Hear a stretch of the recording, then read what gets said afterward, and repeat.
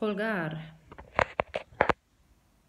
hang, to hang, colgando, hanging, hanging, armarios, cupboards, cupboards.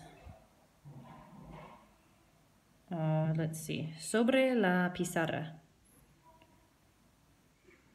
Above the chalkboard. Above the chalkboard or blackboard. Al lado del estantería. Beside the bookshelf. Beside the bookshelf or next to the bookshelf. And debajo del encimera del cocina. Below the counter. Below the countertop or the kitchen counter. Below that. So we were reviewing locations of things. There is, there are, and location uh, how things are related to one another.